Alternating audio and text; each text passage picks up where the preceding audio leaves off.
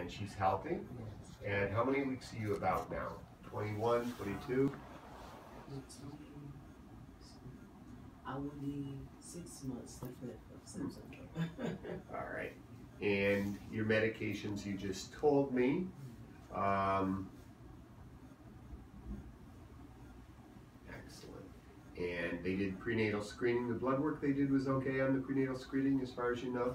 Yes. And then they also did the level two ultrasound. Did they have any concerns about any of the structures of the other parts of the body? Good. Is there anybody in either one of your families you said no with a structural problem with their heart?